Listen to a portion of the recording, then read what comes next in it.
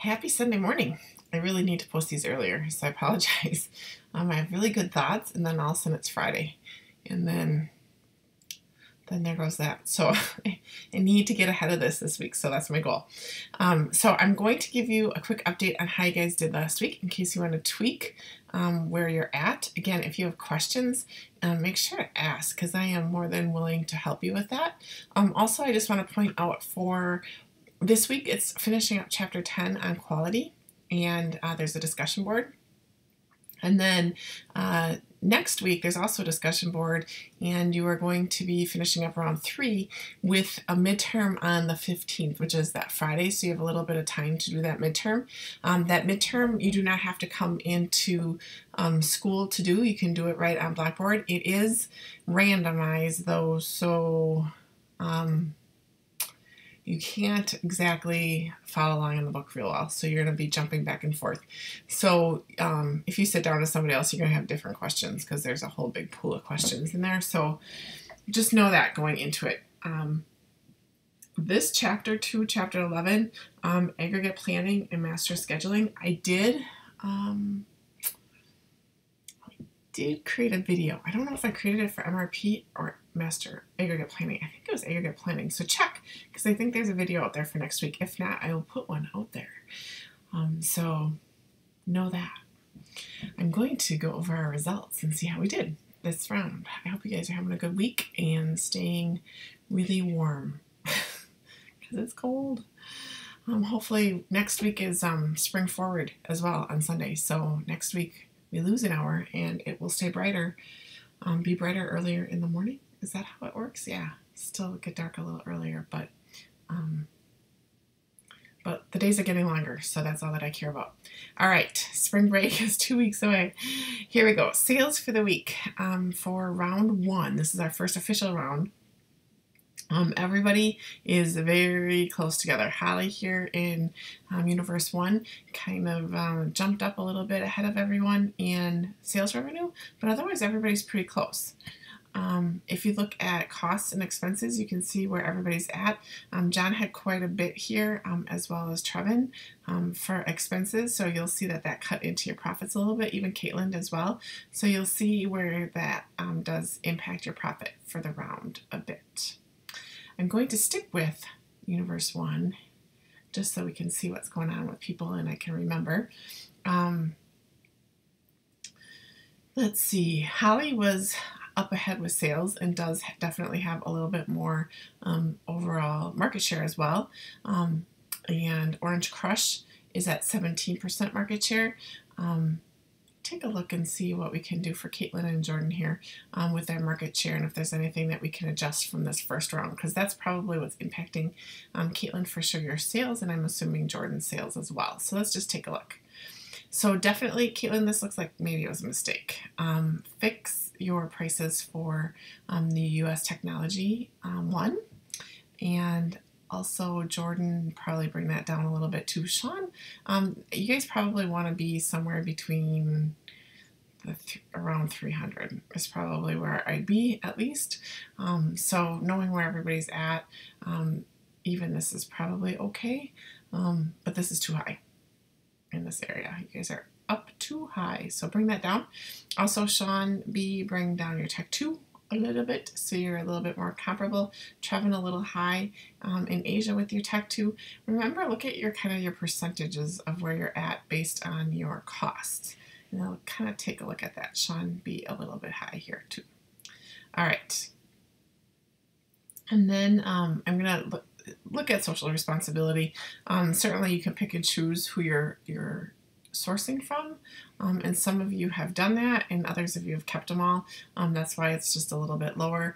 Um, some customers care a little bit more about social responsibility and so if you're not spending a great deal on it, it might be worth the extra cost. For your product, um, capacity utilization Sean, I think it's just your prices were a little bit high, so you didn't hit your capacity targets. Those of you at 100%, just check how much inventory you have, because um, that would be the other caveat. Holly doing real good with inventory um, and managing that with all of the sales that you had. So that's kind of a, a tricky thing to do. Um, Jordan and Caitlin, a little bit too much inventory. Caitlin, I think once you get your, and Jordan too, once you get your sales up, then that will help with that for sure. Um, so you can kind of tell that. Um, and then I don't know if we have anything on the cost report.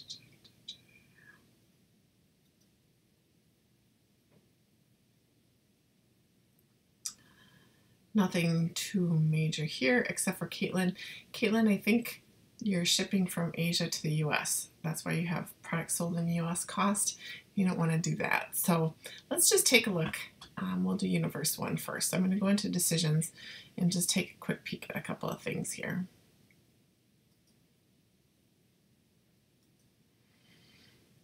Um, and you guys can, I think this can apply to everybody. So um, first of all, looking at demand, and I'm just going to look at demand here just for a quick peek. And I didn't look at the market conditions, so I can't really tell if this is good or not. Um, so let's see, we've got US is 7 to 10, Asia is 17 to 20, and Europe is 5%. So um, that's Europe you want to bring down to about 5% here, Caitlin. So that should be about 5%. When you're growing your um, market share here, you want to grow in increments. So the, these are really big jumps. Um, I would keep these probably to 8 to 10%. This one could be maybe 12%. This one maybe could be 12%, but these I keep lower at 8%. Um, you're overestimating your demand right here, um, which is going to impact your production. So as an example, I would probably move this to 5%. I would do this at maybe 6% because you had 2% last round. Um, this I'd maybe make 12%. This another 6% because it's a lot to grow. Um, this you can do 12%. 6%. Let's get some of these sales up. But these will be a little bit more realistic um, in your production numbers than as you're estimating that. So um, estimating, you've got two different product lines. So you want to make both product lines, right? Um, it looks like you have demand for this. Yeah. So you want to make sure that these two total 100%. So what I would do is I would, this is why you ship from Asia, I think.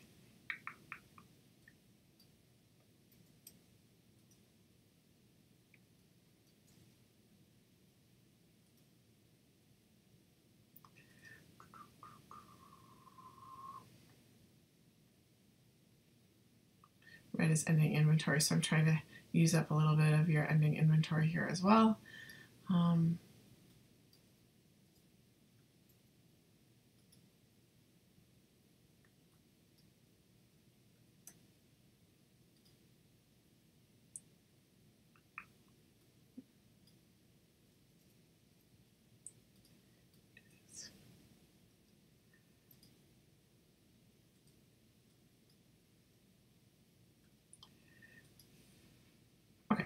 So now your 2% unsatisfied demand, or your Tech 2 unsatisfied demand, um, Caitlin is a little bit less. So hopefully you can kind of see what I'm doing here.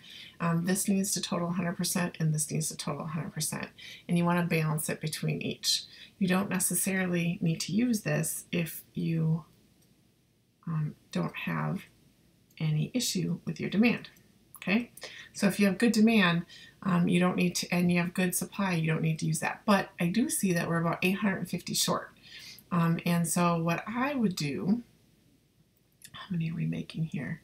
Estimated demand is 3,000 and producing 1,800. Okay, I am going to do 800 here. So I'm going to go ahead and outsource 800 in Asia because um, I think that you'll have your demand in Asia will be a little bit more. Um, they tend to buy more of that kind of stuff. And then I'm going to do 50 here, and then you're you're even Steven here. So that's kind of how I'm playing around with that. Um, so you're using a little contract manufacturing here. Um, I am going to just take a look at this should help our inventory and reduce some of that inventory. Your investments are how many plants you're going to build for the next round. Um, I think now is probably a good time to start building. Um, and they I'm going to do four because it does not look like you have any in the works. So I would do four. Um, in Asia, I would leave US the way it is. I wouldn't change US right now. Um, in your procurement, you can certainly change this um, based on, you know, do you want to use unethical suppliers? I'm thinking no, so I'm just going to undo that. It's it's two dollars more a unit, um, so your unit costs go up a little bit, but I don't think you want to use unethical suppliers. So, so that's what I would do. Um, research and design. Um, it looks like you contributed some to research and design here. Um, and so you should have some of this for this round. I'm just going to go make sure that we put them in there. Yeah, okay. So it looks like you did some. And so we have, I think what I would do is maybe, you have a little bit more to go here.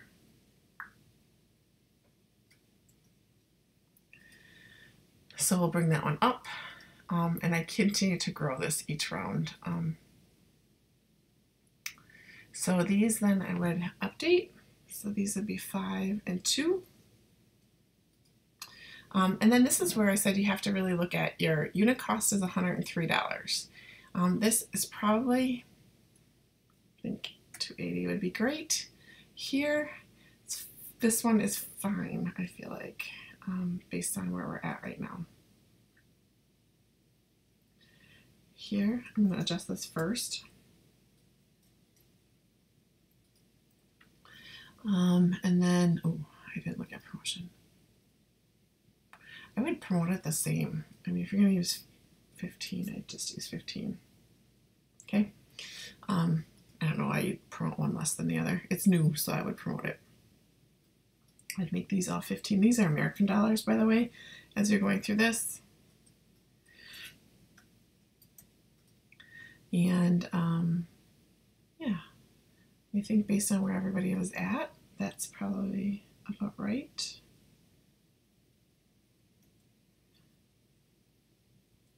I can't remember where people are at with this one. That seems a little high.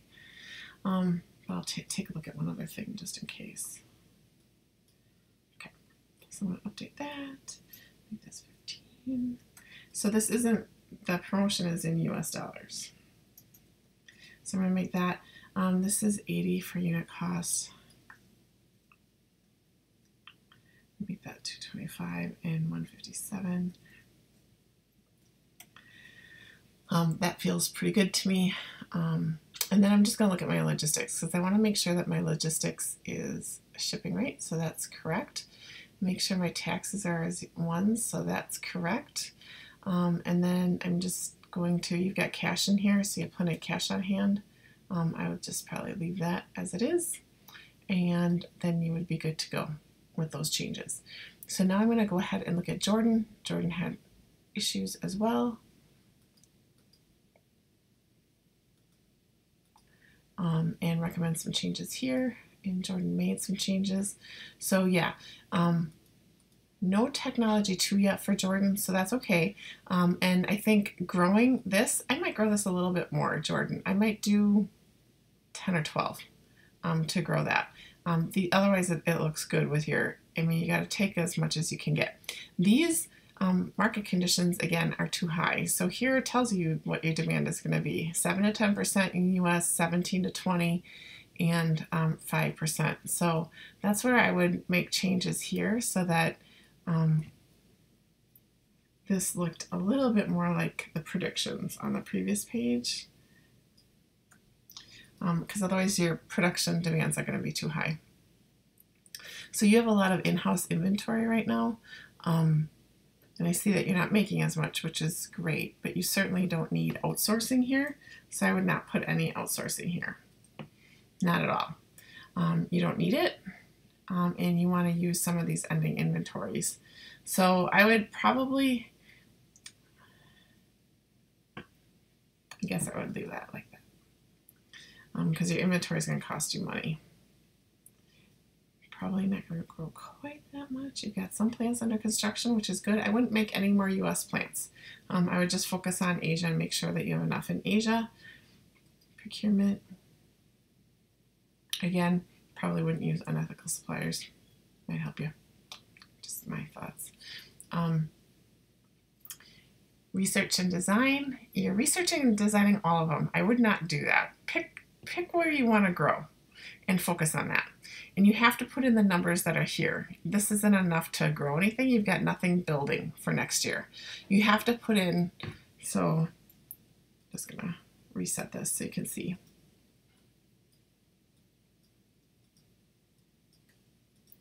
So you, you put in money in all of these, but you didn't get anything for it because you didn't put enough in. So if you want to do, let's say Tech 1 and Tech um, 4 as an example, um, you can only build two products in each location. So you could build four of them, but then you really need to know where you're going to ship, ship them. So you really need to have some sort of a process. So now you can see I put 16, which was the number in here, and now this grew. Um, same here, if I wanted Tech 4, I'd have to invest. And then you can see now I'll get Tech 4. You have to have this total number in in order to get it. I think this is wasted money. So pick two of these and go. Um, if you're going to pick four, you're going to have to be really good at managing where you produce and where you're shipping. And I definitely look at your demand page and look at where these products are going to be in their highest demand. So you're building Tech 4, I would ship that to Europe um, for sure. Okay. You're building Tech 3, I would ship that to Asia for sure. Okay. Tech 2, for sure to the US. So um, that's kind of how I guess I would pick that. Um, so you probably have to make Tech 1 and Tech 2 in the US and um, or Tech 2 and Tech 3 in or Tech 4 in the US, and then Tech 1 and Tech 3 in Asia, and then ship what you want to Europe, guess. Um, and then you then you can change it in here next round. Um, but be careful with this research and design. If you do all of them, um, it'll tax your production quite a bit, um, and it's hard to predict the more product lines you use. Okay, so here again, I would make sure to advertise and your cost is $82. You do not want to sell it for 650. You do not want to sell it for 650. So I think everybody's at like around here, if I'm not mistaken. 882, you're getting a little closer. um, but it just, nobody's gonna pay that if everybody's selling it for cheaper. You want a nice margin, but um, you're not gonna sell the products you have if your price too high. So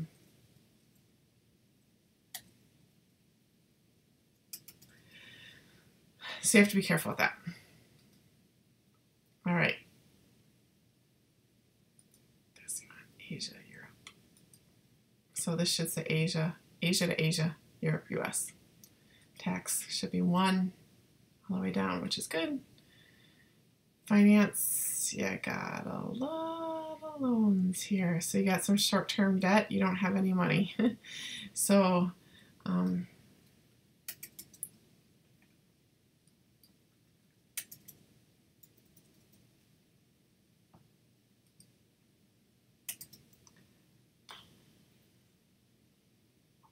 still have no money.